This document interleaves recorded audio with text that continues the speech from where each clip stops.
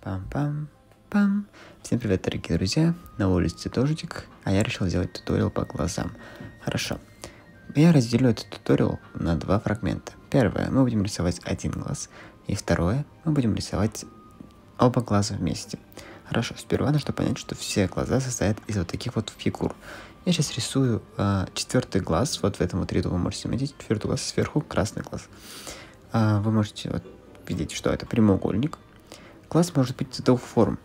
Э, либо он квадратный, либо он прямоугольный. От э, этого расстояния, от этого квадрата зависит следующая форма глаза. И мы будем рисовать вот таким вот образом. Середины этого квадрата, нижней части, если можете заметить, да, я пошел вверх на точку квадрата и спустился немножко вниз.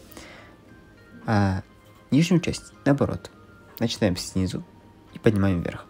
Так вот легко и просто не нужно рисовать глаза. Сперва вы должны научиться именно этому. А, когда вы хотите нарисовать какого-то человека, чтобы нарисовать глаза, вы должны сделать сперва квадратик или прямоугольник, да, внутри него нарисовать глаза и потом его детализировать разными другими способами. Зрачки, а, что еще можно добавить, веки, а, лесни, ресницы, все что угодно вы можете добавлять в процессе уже от своей руки, как сами хотите. Можете так, как вот тут красить, возможно, глаза как-то по-своему. Хорошо. Вот так вот. Детали в этом плане очень важны. Детализация глаза – это пол работы. Если по, половина это просто банальное рисование глаза, в квадратик вторая половина – это детализация глаза, что не менее важно. От этого зависит много чего. Хорошо. Мой глаз отличается от той, что в картинке, немножко, но мне нравится мой глаз, потому что это моя стилизация. Теперь я решил нарисовать второй тип глаза, который я говорил. Квадратный. Такой вот, берем просто квадрат, рисуем банальный квадрат.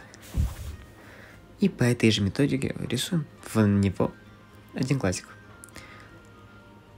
В аниме вот эти вот первый тип глаза, это персонажи, которые имеют трудную жизнь, э, в основном они такие, скажем, как Акаши, Саски, вот такие вот персонажи имеют такую вот форму глаза. А второй тип это добрый да, персонаж, это как Танжиро, а, Наруто и многие другие.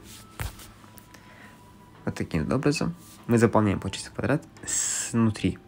Сперва вам нужно практиковаться именно в этом деле. Банально рисую вот эти вот квадратики, банально рисую глаза. Тогда у вас получится рисовать один глаз. Очень хорошо вы рисуете, даже без квадратика, без каких-либо форм. Вы могли заметить в моих туториалах, что я не использую эти квадратики, потому что мне неудобно. Я их не люблю особо использовать. Когда я их использую, меня наоборот не получается, потому что я уже привык без них рисовать. Но вам нужно сперва привыкнуть к квадратикам, потом уже рисовать без них. Конечно, будет трудно в начальное время, но потом вы привыкнете, и у вас все начнет получаться куда лучше. Хорошо.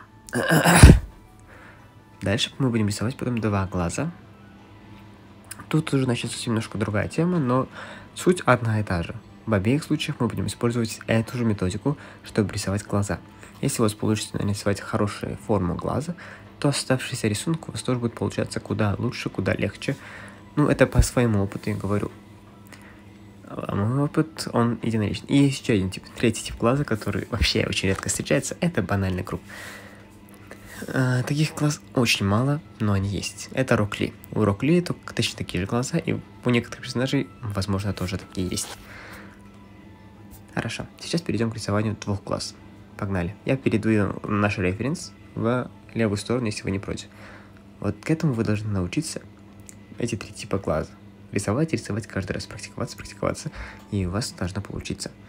Теперь нарисуем два глаза. А теперь я нарисую вот эту вот нижнюю с третьей, получается. Нижняя, с, ну, третья снизу. Нарисую так. Сперва мы сделали банальный прямоугольник, который очень узкий, очень длинный. Так вот, вот так вот. Дальше мы будем рисовать э, расстояние между глазами, вы можете заметить, что это меньше, чем один глаз. Поэтому я всегда говорю, что вот если вы научитесь определять квадратиками, то вам будет удобно. Тут уже будет половина квадратика, вот этого вот, половина прямоугольника. И тут же делаем точно такого же размера прямоугольник. Если у вас, например, вот второй тип глаз, который мы рисовали, то там расстояние в один глаз. Значит, квадратики будут одинакового размера. Все зависит от формы глаза. Хорошо. И тут делаем то же самое, что и там, по сути. Банально рисуем класс. Заполняем квадратик, начиная снизу, поднимаясь вверх, спускаясь вниз. Снизу то же самое. Поднимаемся немножко, спускаемся вниз, поднимаемся вверх и соединяем все вместе. Я решил ускорить, потому что суть одно и то же в целом. Детализируем один глаз, нарисуем его, то же самое делаем со вторым, детализируем, и по сути все, мы нарисовали глаза. Я люблю сперва рисовать этот контур, потом детализировать их. Мне так удобнее. Так что вы можете вот так вот использовать такие вот референсы для глаз и рисовать их. У вас должно получаться. Как-то так. Я так и делал, я рисовал персонажей из закатки. У меня есть очень много подборок, где вот только глаза есть персонажей, я так учился. Ну ладно. Спасибо. Всем спасибо за просмотр. Всем удачи. Всем удачной практики. Всем спасибо. Всем пока. До скорых встреч. Баю-бай.